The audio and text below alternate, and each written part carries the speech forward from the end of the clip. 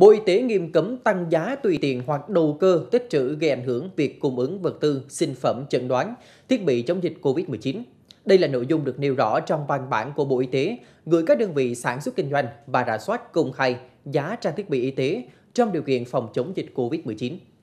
Để đảm bảo việc cung ứng các vật tư, sinh phẩm xét nghiệm, thiết bị y tế phòng chống dịch, Bộ Y tế đề nghị các đơn vị sản xuất nhập khẩu kinh doanh vật tư, sinh phẩm xét nghiệm, thiết bị y tế nói chung và đặc biệt là mặt hàng liên quan đến công tác phòng chống dịch bệnh COVID-19 nói riêng, khẩn trương, nghiêm túc thực hiện việc nắm bắt yêu cầu của thị trường, nhu cầu phòng chống dịch. Các đơn vị cần có kế hoạch chủ động nguồn nguyên liệu, phương án nâng cao năng lực sản xuất, nhập khẩu, đảm bảo cung ứng trang thiết bị y tế đủ về số lượng và chất lượng để cung cấp cho các đơn vị, địa phương đáp ứng yêu cầu phòng chống dịch và công tác khám chữa bệnh.